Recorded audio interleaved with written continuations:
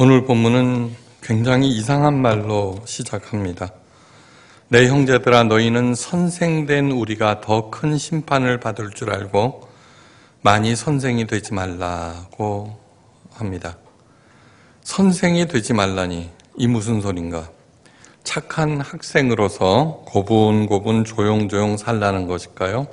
아니면은 자기네들만 선생 노릇 하겠다는 것일까요?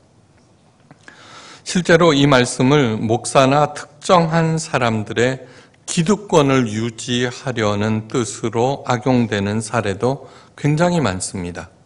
네. 그런데 야고보 사도가 이런 말을 하는 데는 그만한 이유가 있습니다. 모든 말들은 전후 좌우의 상황을 살필 때 그 참뜻을 올바로 이해할 수 있습니다. 당시 사회는 엄격한 폐쇄적인 계급 사회인데 그래서 한번 타고난 신분은 대대로 이어지고 좀처럼 바꿀 수가 없었습니다.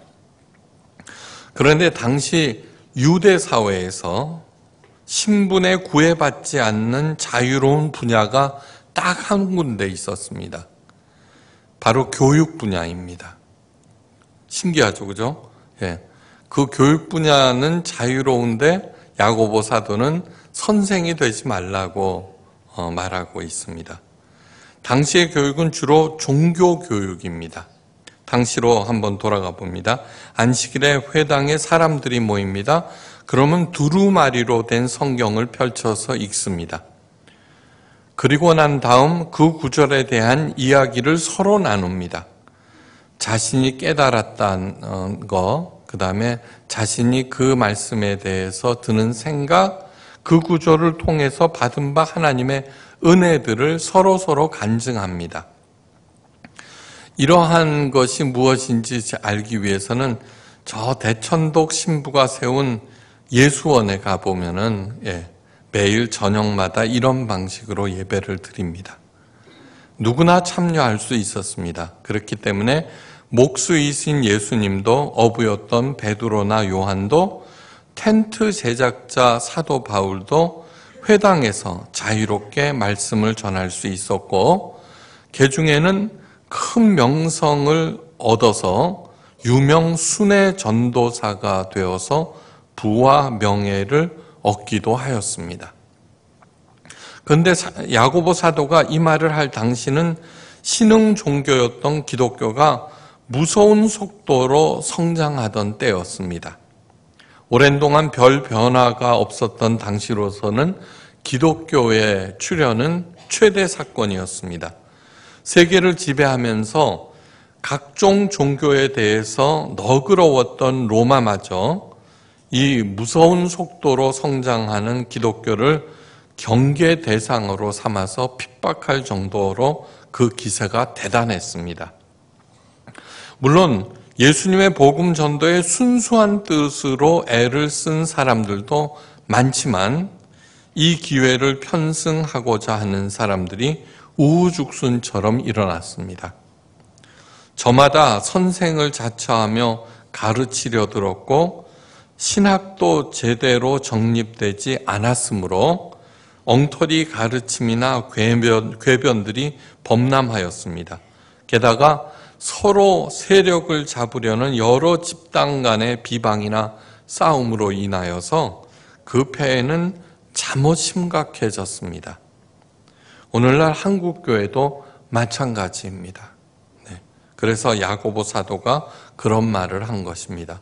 선생 되려 하지 말라. 오히려 잘못된 선생은 하나님의 더 큰 심판을 받는 것이니라. 네. 다시 말해서 선생이 되지 말라는 말의 진정한 뜻은 무턱대고 유명해지고 높아지려는 생각 자체를 버리라는 것입니다. 높아지면 그에 따르는 책임도 많아지고 그것을 잘 감당할 준비를 철저히 하라는 것입니다. 철저히 하라. 여러분들은 열심히 공부하고 잘 준비하셔서 올바르고 좋은 선생, 특별히 신앙의 스승들이 되시기를 간절히 바랍니다. 네. 어, 어, 그 이어서 야고보 사도는 입조심 말조심을 당부하고 있습니다. 네. 자, 그런데 입조심 말조심 한다고 해서 문제가 해결되는 것은 아닙니다. 입에 재갈을 물리라 뭐 이래 갖고는 예, 언제나 말을 하려고 할 때는 생각해 보고 그런 것도 좋지만 어, 야고보 사도는 어떻게 하면은 입 조심을 할 수 있을까? 가장 근본적인 그 해결 방안을 가르쳐 줍니다. 예. 다시 말해서 조심한다고 되는 것이 아니라는 얘기입니다. 오늘 본문에서 두 종류의 지혜를 말하고 있습니다. 세상적인 지혜와 위로부터 오는 지혜입니다. 본문에 따르면은 세상적인 지혜는 그 마음속에 시기와 다툼이 있는 것인 반면에 위로부터 난 지혜는 성결과 화평과 관용과 양순과 극률 등 선한 열매가 가득한 것입니다. 결론부터 말하자면은 세상적인 지혜를 많이 가지면은 가질수록 어떻게 돼요? 입조심, 말조심을 하지 않게 된다는 뜻이고, 예. 위로부터 난 지혜를 갖게 되면은 저절로 말조심, 입조심을 하게 된다는 것입니다. 예.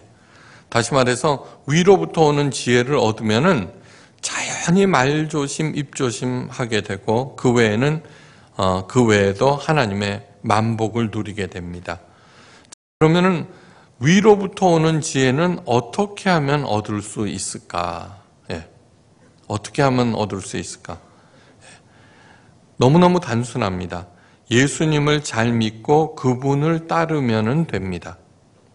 예수님을 잘 믿고 그분을 따르면 됩니다. 근데 그것이 너무 어, 막연합니다. 저는 정말 예수님을 따르고 닮아야 한다고 늘 강조를 합니다.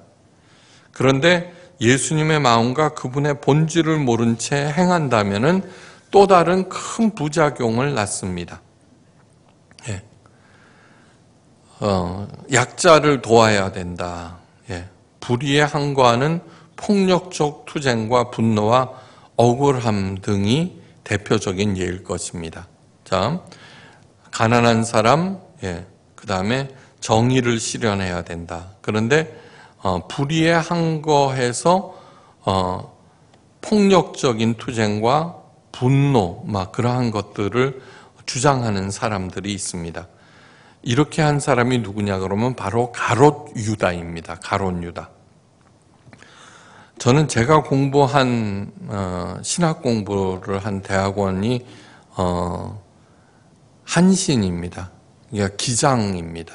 그러니까 민주화 투쟁에 앞장섰던 그렇게 한 것은 뭐냐 그러면 저희 아버님이 어, 기장 출신이기 때문입니다. 자연히 어, 목회를 하게 그 신학을 하게 되면 아버지 뒤를 따르는 근데 어, 그래서 네가 그딴 얘기를 많이 하는구나 아니요 그렇지 않습니다. 민주화나 가난한 사람들을 위해서 평생 동안 투쟁해온 분들을 많이 알고 있습니다. 예. 그런데 그분을 만나서 얘기하다 보면은 그분들의 마음이 그다지 편치 않다는 것을 알게 됩니다. 네. 자, 인도를 대영 제국으로부터 독립시킨 마트마 간디나 또한 마더 테레사, 넬슨 만델라 등의 자서전을 읽어보면은 죽음의 위협 앞에서도 자신의 마음을 잘 다스려 시기와 다툼, 분노, 억울함들을 몰아내고 화평과 관용과 양순과 극률로 채워가는 것을 봅니다. 바로 예수님으로부터 배운 것들입니다. 마하트마 간디, 마더 테레사, 넬슨 만델라 너무나 거창한 인물들입니까? 그런데 요즘 노숙자와 빈민, 빈민들을 열심히 돕고 있는 사람들을 만나보면은 그분들은 우리들처럼 보통 사람입니다. 그런데 그 일을 오래 하면 할수록 그분들의 태도와 표정에는 양순과 극률과 관용이 자연스럽게 묻어나옵니다. 만약 그렇지 않다면 그 일을 10년, 20년씩 절대로 하지 못할 것입니다. 어떻게 하면은 그들은 그 열악한 상황에서 그 절망적인 사람들의 이야기를 들어주고 도와주면서 그런 마음 상태를 유지할 수 있을까? 볼 때마다 존경스럽습니다. 제가 어, 늘 말씀드립니다. 예수님께서 오른손이 한 일을 왼손이 모르게 하라고 하셨습니다. 짱구입니까? 네. 그런데 유일하게 오른손이 한 일을 왼손이 어, 모를 수 있는 유일한 길은 무엇이냐면은 그렇게 다른 사람을 도울 수 있는 마음을 주신 것도 하나님이고 도울 수 있는 힘과 능력을 주신 분도 하나님이고 예. 그런 기회를 주신 분도 하나님이라고 하는 것을 내가 인정할 때 나는 정말로 이 일은 내가 한 일이 아니라 하나님께서 하시는 일. 지난주에 설교 들었죠. 예. 소경이 눈이 먼 것은 그를 통하여서 하나님께서 하시는 일이 무엇인지 드러내고자 함이라고 하였습니다. 그럴 때 딱 한 번 유일하게 오른손이 한 일을 왼손이 모르게 되어 있습니다. 우리가 지치고 어, 억울해하고 하는 것은 자꾸 그 일을 내가 한다라고 생각하기 때문입니다. 스위스 내과 의사이자 정신의학자로서 기독교와 심리학을 통합하는데 크게 기여한 분이 있습니다. 폴 뚜르니에라고 하는 분인데 그분이 강자와 약자라는 굉장히 좋은 책을 썼습니다. 그 책에서 폴 뚜르니에는 이런 말을 합니다. 세상에는 강자와 약자 두 부류의 사람들이 존재합니다. 비난, 허세, 흥분, 폭력성 등은 강자들의 전유물이고 억울함, 수치심, 강박관념, 굽신거림 등은 약자들의 전형적인 반응이라고 할 수 있습니다. 그러나 모든 인간은 약하디 약한 존재입니다. 누구나 죄에 빠져 있고 패배에 대한 두려움에 쌓여 있습니다. 단지 이러한 똑같은 문제를 강한 반응과 약한 반응이라는 다른 방식으로 표현할 뿐입니다. 다시 말해서 약자, 강자들이 있는데 약자나 강자나 모두 다 어, 죄에 빠져 있고 패배에 대한 두려움, 불안들이 다 있게 마련이라는 얘기입니다. 그래서 내가 힘을 가진 강자라고 할지라도 예, 강자들은 비난, 허세, 흥분, 폭력성으로 반응하고 예, 약자라면은 억울함, 수치심, 강박관념, 굽신거림 등으로 반응한다는 얘기입니다. 힘의 차이가 있을 뿐 그렇게 하는 반응은 하나님을 보시기에 똑같이 시원찮은 것이라는 것입니다. 오늘 야고보 사도가 우리들에게 가르치는 것은 무엇이냐 하면은 사도 바울이 말했던 예, 어, 높음의 처에서도 예, 오만하지 아니하고 아래 처에서도 비굴하지 아니한 진짜 하나님께서 원하시는 반응을 어떻게 할 것이냐를 가르치고 있는 것입니다. 여러분들은 강자입니까? 약자입니까? 저마다 답이 있을 것입니다. 그 상황에 따라서 그 답이 달라집니다. 강자들 앞에서는 약자가 될 것이고 약자들 앞에서는 강자가 되기도 합니다. 자, 그런데 성경에는 두 여인이 하나님께 올린 아름다운 송가가 있습니다. 잘 들어보십시오. 강자이든 약자이든 예. 권세 있는 자를 그 위에 내리치셨으며 비천한 자를 높여주셨고 줄이는 자를 좋은 것으로 배불리셨으며 부자를 공수 빈손으로 보내셨도다. 누가복음 1장 52절에서 53절 말씀. 마리아가 예수님을 낳고 난 다음에 부른 송가입니다. 다음 용사의 활은 꺾이고 넘어진 자는 힘으로 띠를 띠도다. 유족하던 자들은 양식을 위하여 품을 팔고 줄이던 자들은 다시 줄이지 않도다. 가난한 자를 진토에서 일으키시며 빈핍한 자를 거름더미에서 드사 귀족들과 함께 앉게 하시며 영광의 위를 차지하게 하시는도다. 사무엘상 2장 4절에서 8절. 한나가 사무엘을 낳고 부른 하나님을 향한 송가입니다. 다시 말해서 약자를 강자로 만드시고 강자를 약자로 만드시는 하나님을 찬양한 것입니다. 근데 여기에서 생각해 봐야 할 것이 있습니다. 강자가 약자가 되고 또 세월이 지나면 약자를 다시 세워서 어, 강자로 만드시는 이 송가는 하나님의 뺑뺑이 놀이를 말하자는 것이 아닙니다. 네. 여러분들은 강자입니까? 약자입니까? 네. 누구나 다 강자가 되려고 합니다. 약자가 되면은 억울해하고 슬퍼하고 그렇습니다. 그래서 열심히 공부하고 노력하고 때로는 수단과 방법을 가리지 않습니다. 열심히 종교 생활에 매진하는 이유도 그렇게 하면은 강자가 된다고 가르쳤기 때문입니다. 그런데 명심해야 할 것이 있습니다. 너희가 욕심을 내어도 얻지 못하고 살인하며 시기하여도 능히 취하지 못하나니. 예. 뭐 어, 범죄 내가 강자가 되기 위해서 상대방을 죽이고 예, 모함하고 한다고 하더라도 어, 그거를 되지 못한다는 얘기입니다. 너희가 서로 싸우고 다투는도다. 너희가 얻지 못하면 구하지 아니하며 구하여도 받지 못하면 정력으로 쓰려고 잘못 구함이니라. 예. 누구나 다 약 강자가 되기를 원합니다. 그때 하나님께서는 너 왜 강자가 되고 싶으냐고 물으신다는 얘기입니다. 그때 대답하셔야 됩니다. 그때 대답하셔야 됩니다. 네. 만약에 그 대답이 옳지 못하면은 헛된 몸부림이고 설사 강자가 되었다라고 할지라도 오히려 그 일로 인하여서 파멸된다는 그러한 얘기입니다. 네. 구하여도 받지 못함은 정력으로 쓰려고 잘못 구함이니라. 다시 말해서 열심히 구하고 노력하여 설사 강자가 되었다 해도 예, 그것은 잘못된 강자, 강자가 되지 아니함보다 못하다는 얘기입니다. 그러니까 강자가 되려고 하지 말고 그냥 약자로 살라는 뜻일까? 아닙니다. 사도 바울이 굉장히 이상한, 말, 이상한 말을 합니다. 나의 여러 약한 것들에 대하여 자랑하리니.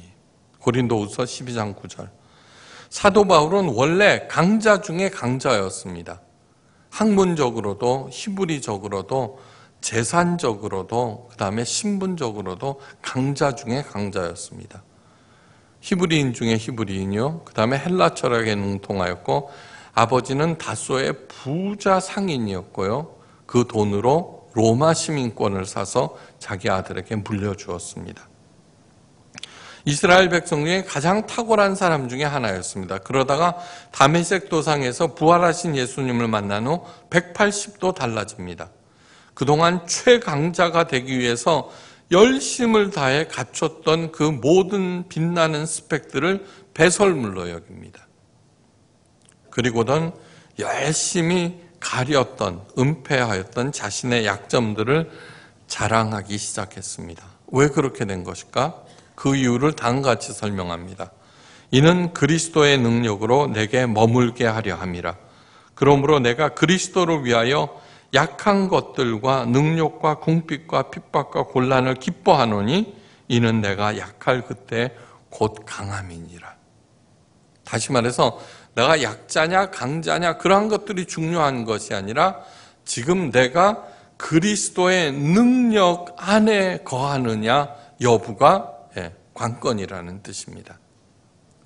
내가 그리스도의 능력 안에 거한다고 하면은 나의 배경, 출신, 성분 가지고 있는 그런 것들이 아무런 문제가 되지 않는다는 얘기입니다. 네. 그동안 한국교회는 이 말씀의 뜻을 나의 약함을 자랑하면 전지전능하신 예수님의 능력이 내가 임하여서 전과는 비교할 수 없는 절대 강자가 된다고 가르쳤습니다. 정말 정말 잘못된 가르침입니다. 네. 정말 정말. 네. 말도 안 됩니다. 그리스도의 능력에 대해서 오해했기 때문입니다. 무리를 걸으시고 폭풍을 잠잠케 하시고 죽은 것을 살려내시고 예, 산 것을 죽이시는 하나님의 전지전능한 능력을 예수님도 물론 가지셨습니다. 그러나 그 능력을 예수님 자신을 위해서나 자신의 힘을 과시하기 위해서는 단 한 번도 사용치 않으셨습니다. 이것이 힘에 대한 예, 가장 올바른 관점입니다. 그리고 그 힘을 모두 다 돕고 살리는데 온전하게 사용하셨습니다. 그리스도의 능력이라고 하는 것은 잘못된 것을 바로잡고 남들을 살리기 위해서 십자가의 고난까지도 감내하는 그런 능력입니다. 그러므로 내가 강자냐 약자냐는 관심이 없습니다. 지금 현재 내가 가지고 있는 힘을 어떻게 사용하고 있는가를 점검하셔야 됩니다. 만약에 그것이 옳다라고 하면은 하나님께서 자연히 강력하게 만들어 주십니다. 자연히. 사도 바울은 왜 능력과 궁핍과 핍박과 곤란을 당했습니까? 강자가 되고 유명해지기 위해서 당한 것이 아닙니다. 우매한 사람들에게 진리를 가르치고 그들을 살리기 위해서 기꺼이 당한 것입니다. 예수님의 가르침대로 예수님을 따르다가 당한 것입니다. 예수님은 약자들의 아픔에만 관심을 두십니다. 강자들을 싫어하는 것이 아니라 강자들의 잘못된 횡포와 교만과 이기심을 싫어하시는 것입니다. 힘과 권력과 부를 싫어하는 것이 아니라 그것으로 자신의 이득만 챙기시는 것을 가장 싫어하십니다. 그래서 엎으십니다. 그러므로 포인트는 내가 강자냐 약자냐가 아니라 지금 현재 내가 가지고 있는 힘을 어떻게 사용하고 있느냐를 언제나 살피셔야 합니다. 언제나. 또 하나 가장 중요한 개념은 우리들은 하나님의 자녀라고 하는 사실입니다. 하나님의 자녀들은 원래부터 강자입니다. 원래부터. 자기 아버지가 세면은 자기도 강자죠. 부잣집 도련님으로 태어나 부잣집 도련님은 태어날 때부터 강자입니다. 그러므로 하나님의 자녀들은 강자가 되려고 애쓸 필요가 전혀 없습니다. 그런 생각을 완전히 뽑아버릴 때 입조심, 말조심도 저절로 하게 되고 예, 그리스도의 능력 안에 거하게 됩니다. 놀고 먹으라는 것이 절대 아닙니다. 하나님의 자녀로서 책임과 사명을 수행하라는 것입니다. 밤새 내리던 눈, 살며시 그친 아침, 세상은 온통 하얀 도화지. 두 눈을 크게 뜨고 살인문을 열면 누가 먼저 지나갔나. 이 고운 눈길, 한 발두발 걸어가는 눈 위의 그림. 이 아름다운 시는 서울 숭인동에 사는 서울 어머니 학교 샛별반 최미자 할머니가 서툰 글씨로 연필을 꼭꼭 눌러 쓴 시입니다. 최미자 할머니는 2년 전만 해도 한글을 읽을 줄 몰랐습니다. 그러다가 서울 어머니 학교에서 최창우 선생님으로부터 한글을 배워서 70년의 한을 풀고 이 시를 썼습니다. 현재 58살의 마른 체구에 아이처럼 맑은 눈동자를 가진 최창우 선생님도 초등학교조차 다니지 못한 사람입니다. 그러다가 혼자 힘으로 어렵게 어렵게 어렵게 대학 공부까지 마쳤습니다. 모두 다 여기저기서 만난 야학 선생님 덕분이었습니다. 그래서 최 선생님은 야학에 대한 마음의 빚을 언제나 갖고 있었습니다. 먹고 사는데 바빠서 그 빚을 갚지 못하다가 어느 날 전봇대에 붙어 있는 어머니 야학 모집 광고를 보았습니다. 그 길로 야학을 찾아갔고 거기에서 선생님 생활을 했습니다. 나중에는 대표까지 되었습니다. 수많은 할머니들의 까막눈을 뜨게 해 주었습니다. 여러분, 글을 모르면 일상생활 하는데 상상을 초월할 만큼 어려움을 겪는다고 합니다. 한글은 쉬워서 일주일이면 깨우칠 수 있다고 하지만 사실 글씨를 익히고 읽고 자신의 생각을 쓸 수 있기까지는 한 3년쯤 걸린다고 합니다. 자신의 생각을 짧은 글이라도 써놓고는 모두 다 눈물을 흘린다고 합니다. 다시 태어난 강자가 되려는 마음을 이제 버립시다. 강자냐, 약자냐, 그런 것을 따지는 개념조차도 버립시다. 하나님의 시각으로 보면은 우리들은 모두 다 도토리들입니다. 그죠? 예. 쎄봤자 도토리. 시기와 다툼과 요란과 모든 악한 일들 강자가 되려는 마음 자체를 버리면은 자연히 사라지게 되고 입 조심 말 조심하게 됩니다. 강자가 되기 위해서 열심을 다하는 것이 아니라 하나님의 자녀로서의 책임을 다하고 다른 사람을 돕고 살리기 위해서 열심할 때 바로 그것이 위로부터 난 지혜를 얻는 유일한 길입니다. 이 지혜를 받은 사람을 화평케 하는 자라고 부릅니다. 바로 우리들입니다. 그런 마음으로 무슨 일을 하든지 엄마 아빠 일, 사업, 뭐 비즈니스 무엇을 하든지 반드시 백배의 결실을 맺게 되어 있습니다. 왜요? 안 그러면 하나님이 손해니까. 그죠? 네. 백배의 결실을 거두어서 누리고 베푸기를 주의 이름으로 간절히 축원합니다. 기도하십니다. 기도하십니다. 그동안 조금만 세지면은 강자라고 목에 힘이 들어갔고 사정이 나빠지면은 약자라고 비굴하며 예, 빌빌거렸습니다. 이제 그 놀이를 멈춥니다. 내가 가진 힘 그것이 무엇인지 아무리 작더라도 이웃을 살리고 하나님의 영광을 드러내어 하나님께서 하시는 일이 무엇인지 드러내겠습니다. 그 일을 가는 모든 사람들, 우리 자랑스러운 성도들에게 그리스도의 능력 안에 거하게 하시고 그래서 마침내 백배의 결실로 신나게 베풀고 누리는 모두가 되게 하옵소서 감사드리며 모든 말씀 예수 그리스도의 이름으로 간절히 기도하옵나이다. 아멘.